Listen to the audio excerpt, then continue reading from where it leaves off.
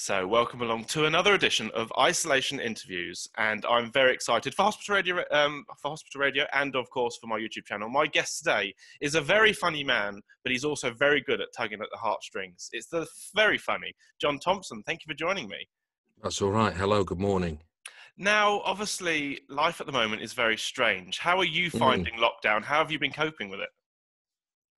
Well, I've been absolutely fine because it's just like being an out of work actor. This is the no different to being unemployed uh, in um, if you work in the arts. So um, I have I have to sympathise with people who do a nine to five kind of office based job because um, those jobs for some people are their social life and their mates are at work. Whereas I kind of get together occasionally with mates who are uh, particularly on cold feet, I've known for years.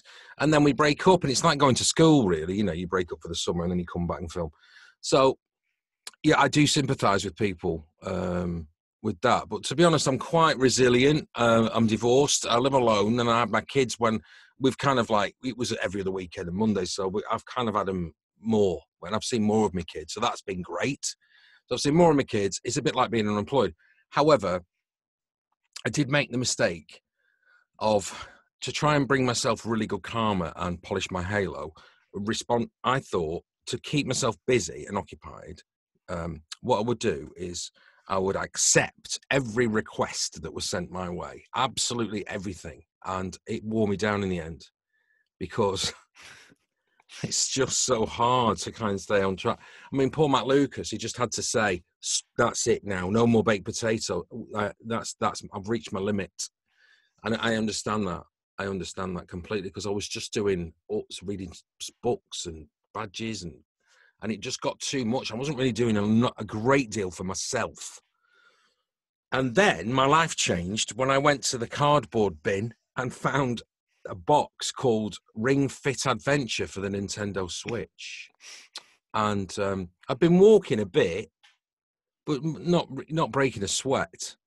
And someone said, I heard someone say at, in lockdown you come out as a chunk, a hunk, or a drunk. Well, I don't drink, and I haven't drunk for this Christmas 14 years. So that for me is a very easy way of coping with lockdown because I know for a fact there's been a lot of people kind of dealing with it. In a, whereas alcohol's become a very special medicine for people most nights and days, I think. Uh, so I, I, I, um, I do worry about the, epidemic of, of, alcohol in this country and, and that strange kind of excitement that the pubs would open. I just thought, I haven't had enough at home. do you know what I mean? Um, but I mean, I'm not lecturing, but it's not good, really. It won't it won't do you any good? So, I, on top of not drinking, I decided to have a go at this ring fit adventure. It's not an you know endorsement. I didn't get it for free. I, they're like hen's teeth. You can't get them anywhere. Uh, but I saw this box and I went, "Oh, I've never heard of that." Because I'd heard of the Wii Fits on the old system. Well, I do it every day now, and I'm on day. What day am I on now? I think I'm on day 48 solid every day. I train for at least 20 minutes, but it's proper exercise. But the difference is you're in a monster kind of Zelda um, uh, setting where you've got to beat bosses by doing, uh, you know, um, the tree pose. And, so it's yoga, arms, it's the whole body. It's very well thought out. And do you know what? I love doing it. If I, if I go to, I don't really like the gym, but I do like this. And I'm at home and no one can stare at me and I can just get on with it. And uh, I love it. I'm, I'm yeah, I'm, I'm really, I really love it. So I do it daily. I suppose I've swapped my alcohol addiction for, for, for Switch, for Nintendo Switch Ring Fit Adventure. But I love it. I mean, I love it so much. I've actually started going on Reddit and uh, found Fandom to see what other people's t- tips are. So I'm very excited this morning. I opened a thing where I can make a smoothie, but it's wow. a virtual smoothie. but that makes you stronger to fight the monsters. So it's all. It's. I mean, that's helped massive, especially well-being wise. It's lifted my spirits to know that I am breaking a sweat daily. And when the weather was really good, it's like it's gone a bit amiss now. But we count our blessings. We have had a we have had amazing weather earlier in the year.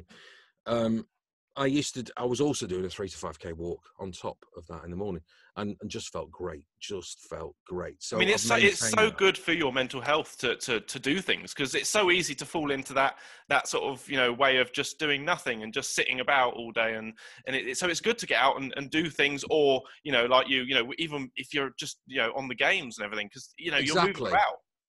I think the fact it's a game and it's a fitness game is brilliant because, like, just sitting playing games, you know, uh, is it's sedentary and you're gonna you're gonna put the pounds on. I mean, I was snacking as well a lot. I still do a bit, but there's a bit of a deficit going on with the exercise. But it's just so easy to fall into bad habits. But you better make it. You better finding good habits and maintaining them, swapping them over. Really, I mean, as as opposed to as as far as Netflix, I think. I think we're sport rotten with Tiger King, and nothing's really matched it since. Really, that started at the beginning. It was an obsession worldwide, wasn't it? But it was such an unusual documentary, and such a you know they've hit gold the, the documentary makers because it was really two documentaries in one. It kind of like it was a right. It was a someone passed the torch. It fell apart, and then oh, you take this thing over. You know, it was an amazing bit of film. You know, as a, as a I've never seen that before, where an abandoned documentary becomes something else. And um, wow, yes, that was like it's, it's not been beaten. But my guilty pleasure is, and you won't believe this, my daughters, uh, um, Sophia, who is ten, and Olivia is seventeen, uh, are huge RuPaul drag Oh, race okay. fan, and uh, so am I. They they started me off on it, and I absolutely love it. I, um, it's a great. Uh, it's, it's so we're currently on. Uh, we're currently on All Stars, at the moment, but we did watch the the last season's uh, lockdown finale as well. So, um, yeah, and a bit of. a I actually, right at the end of the kind of when the lockdown was eased, I had a go at sourdough. I didn't make banana bread, and it it worked. It did work. It worked fine. It was a bit flat. It was from proper book. It was a bit flat, but it would air, it, it aerated too. But it took a week to make. It takes a week to make the starter. Oh, sorry, my tummy's wrong now. I've had no. Sounds like rolling thunder. Um, so I've done a few. Th- I like doing kind of practical things, and my my ten year old's very crafty, so she, I love getting getting involved with her. I mean, I To found be myself, honest, so- I found myself doing banana loaf, so I think we between the two of us, we've done it all really. Was it heavy? It- very heavy. Very I- heavy I- cake. It was quite heavy, but it was really nice as well. I, I mean, Nice. the, the, the, People, the riper the bananas, the better the loaf. I think. indeed, uh, correct. That's right, because of the sugar content. Because you'll find that diabetics aren't allowed uh, Mm. bananas with black black on the skin because the, the sugar the sugar's too high. So, but when you're making cakes, more is more. And also the other thing I did, you know, another tangent, uh, found myself doing chocolate and beetroot cake, which was something else that I'd never had before, and was Well, actually f- really nice. I'll bet because the colouring for red velvet is beetroot, of course. Yeah. That's if people don't know, because I'm like a big foodie. I cook all the time. So that's another thing I've been doing. I've been cooking all kinds of things, you know. I've been doing quite a few restaurant re- recreations when they were all shut. So I can do quite a few things from Waggers, even katsu curry can make that because I've got the book. It's it's not like it's secret, you know. uh, we've done we've done fried chicken. Uh, I've done uh, what else have I done? I've done Waggers. I've done KFC. What else have I done? Um, oh, still. Oh yeah, made me own Big Macs and sauce everything. I was going to say Yeah. because there was a lot of people that were doing all that at one point when Yeah. obviously they were closed. Um, the buns are very hard to come by because they're not brioche Mm. really. So the best brioche buns are like kind of Aldi and and but you, the seat the, the tips to buy is to, to use another bottom because it's three three tier, isn't it? Like a club sandwich. So you just stick another bottom in the middle. And I find but brioche is a bit sweeter than the one the ones they use in the in the thing. To find those kind to find that bread that they use for Big Macs is very hard. It's the, it, that's the that's tough, very tough. Now, I just wanted to say, I mean, in terms of um, work for you, obviously, I mean, for a lot of people, work just stopped. I mean, were you in the middle Yeah. of any projects when when lockdown Well, came? as I speak to you, um, just before lockdown, I was starting to realise how serious it was, and I thought, my God, I am not going to have any work at all. So I am on a rolling contract with uh, Police Interceptors for Channel Five, where I narrate the show, and have been for about probably best part of five, maybe six years now. So I'm the voice of Police Interceptors on Channel Five, amongst others because I tend to do a lot of narratives now because they like my voice for uh, for for documentaries, uh, which is great, but it doesn't pay the bills like commercials do. listening, anyone listening out there, Just remember these velvety tones. um, so, yeah, I do do quite a few. So, the, the, what I did was I kind of guessed a bit. Really, I didn't do too much research because of being in in studio so much. So, in front of me, I have a a garden table from our IKEA that I didn't want anymore, covered in black felt, so it doesn't, you know. I have uh, engineers insulation foam on the walls, a decent mic. Um, I've got I'm hardwired into the internet here because of the so it's more of a fixed IP. So basically, I've got. It sounds all right to you, doesn't it? yeah, it? Yeah, sounds perfect. Yeah, yeah, yeah. So I've got um, I've got a dead room in my old broom cupboard. So the dimensions in here are seven foot by three three and a half foot. so it's there's no windows. I, I, share it with the occasional spider, but I'm not fighting. So, I mean, and it's worked. So uh, weekly, I do uh, Ultimate Police Interceptors, which is the best of on the Tuesday, and on the Wednesday, I do the actual new series of Police Interceptors, which is this time Nottinghamshire because they move the counties, they move around, and they follow different police, and there's always different problems. It's, it's, interesting what, what what counties kind of bring up what problems, you know. So we're in Nottinghamshire at the moment, uh, and uh, so I do that. I will be back on that tomorrow. So it must be yeah quite exciting to be able to still do something because I mean the my worst, God yes. I mean the, wor- God, the, the yes. worst the worst thing is just to not have anything to do and just kind of yeah like we were saying earlier just kind of fall into a bit of a hole and do nothing. There's so I don't believe. I, have always said this. My kids, if they, if my kids want to get in serious trouble, they say the bored word. They say B, the B word, which is bored. Because when I was a kid, I mean, E, when I were a lad, I mean, there's no iPads and, and, and all that. We were out and about on bikes and stuff, you know. So I mean, all these kind of like things like Stranger Things, like oh god, there's a lot of bikes, and uh, that's how it was, you know. that was fun. And uh, what was I going to say? The things that you there's no excuses to get bored in this day and age, especially with the technology we have, the resources we have. But also, you can learn so much from the resources. It doesn't have to be mindlessly watching crap on, uh, you know, some platform. You can learn. I mean, like YouTube. I fixed so many things. Like my NutriBullet went. Uh, when you press it down and turn one of those teeth that kind of engages the motor, sort of, you know, because it gets a bit sticky sometimes so I watched it and I poured boiling hot water on it and got the sticky out and I put some silicone on it and it works now. And I was like so chuffed. And then I kind of, I had a new cooker hood, the old one bust, and I put that in, and it was smaller, slightly smaller than the other one, and the old wallpaper from way back, 1950s, like floral, from God knows who was here when that was up.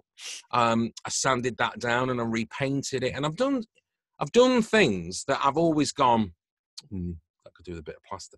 So I've done a bit of polyfiller, filled holes, and I've done quite a bit of the uh, of DIY in the house where I've just gone and I'm, I can look now and go, oh, it's done, my God. Because in the past I go, I'll get, you know, there's something about the lockdown's gone. Okay, I need that doing because you see it every day, don't you?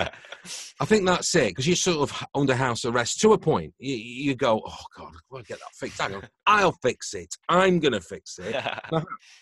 So it's a sense of achievement and a sense of worth. You know, um, I do feel sorry for people who are infirm and can't leave, you know, the house. And and oh, I mean, there's so many. You don't realise you, you what you, you kind of only know what your own story is really. And I mean, some of the I tend not to at the beginning. I didn't tend to watch the news because it was like too too alarming. Really, it was just you know, is this really happening? Um, so but I don't. Two things I've always said for a happier life is don't follow sport, which I don't. I don't like it. I don't like any sport, and England aren't particularly good at it. Uh, uh, generally, we're not, and uh, so that's and uh, and I don't read a, a, newspaper either. I don't read a daily paper, um, no matter what quality it is. So um, basically by removing those two things um, I, have two less disappointments in life i mean one thing i must admit that i've uh, sort of taught myself to do which i'd never done before was i'd started cutting my own hair which probably needs another trim yes, soon that looks but, all right but but yeah clipper, clipper job exactly yeah so clippers and scissors um, yeah i did it once took me an hour and a half because I was petrified to make the first cut. But once I got going, it, it actually wasn't too bad. No, I know. Well, uh, let's the big there will be a few p- trades that that will suffer at the hands of our uh, kind of uh, what stoicism, uh, kind of like you know practicality of picking up things.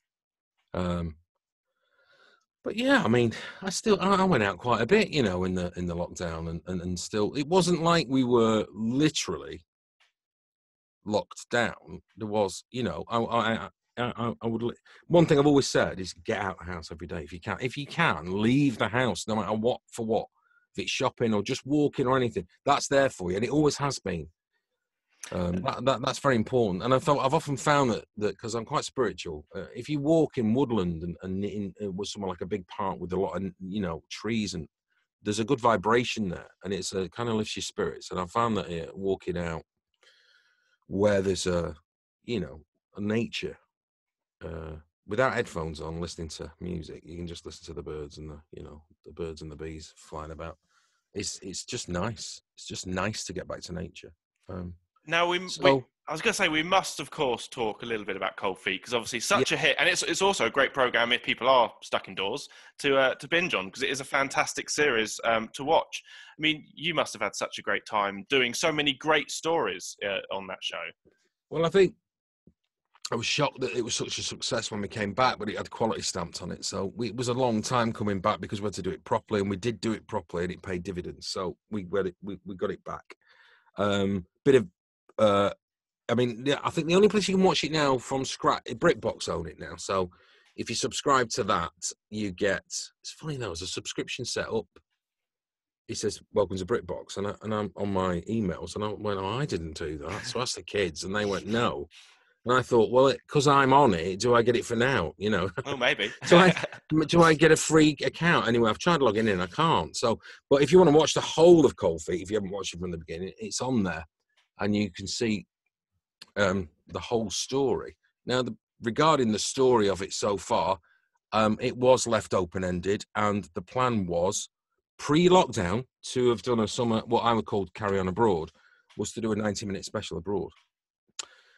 However, due to unforeseen circumstances and various issues, we couldn't do it, but we wouldn't have been able to do it anyway. So hopefully, within this time, there might have been a chance to kind of recoup, get the writers together, maybe on Zoom, and and, and, and bash it out. So, yeah, um, it's not finished. The show is definitely not cancelled. It's, uh, uh, but it's just it's in um, it's being rested for now, and then it'll be back. Because I mean, the great thing with it, as I say, is it, it it tackled so many different subjects. And I mean, obviously, the big one for you was the mental health storyline, which um, you know, male suicide, and it was so powerful. Just, to, I mean, I mean, I, I think you know, I'm sure many people have mentioned this to you. The clip where you were at the top of the cliff. oh my god, that episode's full on. It's full on. Two things about that episode. I'm a professional drummer. I've been playing 38 years. So they said, "Was that you on the drums?" And I went, "Well, yeah, you can see really, but there's some fancy bits maybe taken from over the shoulder that could be a double." No, it's all me because I play properly. And is it was that you on top of that cliff? Was it CGI? No, it was me on the edge of that quarry. It was near Bolton, but I have a line clipped in that's that's painted out in post. But I, I'm quite. Uh, a few years ago, I went to New Zealand with Jack Osbourne, did Adrenaline Junkie, and that kind of stuff. Heights wasn't great, but I kind of conquered it out there. So I'm pretty fearless now. So the stuntman went, "Oh no, oh, it's quite bad, isn't it?" So we just uh, we went back at lunchtime a bit earlier and just sat on the, my stunt double and just sat on the edge chatting. And I, he said, "Do you think you'll do it?" And I went, "Yeah, you'll be fine." And I just did it all. Um, also, when I went in the when I went in the canal, oh god! I mean, I missed. I, I, it's Pete the stuntman, really. I don't think the others kind of do any kind of. I love it though. I like to get involved. I'd love to do an action series where I can, you know, when I'm, when this Ring Fit Adventure thing, uh, I come out, I emerge like some ripped butterfly from maybe, maybe the future James Bond. Well, I'm too short, too fat, too northern. I'm too old now. Roger was getting on a bit when he did View to a Kill. I think he started Bond when he was 46. I'm 51 now. He's probably my he was probably my age when he did. Let's have a look. Because I'm a big Bond fan. Let's have a look. Let's see. How old was Roger? How old was Roger Moore when he did View to a Kill, which is his last Bond film? Here's a summary from Wikipedia. 57. Wow, there you go. Oh well, you might be all right. I've got another six years in go, me. go for it. Go for it. Si- I've got six years of a potential Bond career in me. Oh well, That's that's made my day now. There we go. Perfect. I can fantasize all day. Oh, now I just want to say it has been an absolute pleasure talking to you. I could carry on for forever. Um, Well, thanks for having me on. that's all I right. hope the listeners uh, appreciate it. Yeah, I was just going to say before we go, is there any messages you'd like to give to anyone listening in the hospital? I'd just like to say, stay strong, stay positive, um, and uh, stay happy. Really, um, it's kind of like the mind controls the body, and if you're a, I think in your if you if you are in a happy state of mind and a positive state of mind, I think the body follows. Uh, I've learned that over the years that you know find a happy place in your head, and you'll find a happy place in the rest of your body. So uh, I hope you have a lovely day. Perfect. Now, I just want to say thanks again for your time. Um, of Thank course, you. Keep, keep safe, and yeah, thank you for, for You too. me. All the best. Take care, mate.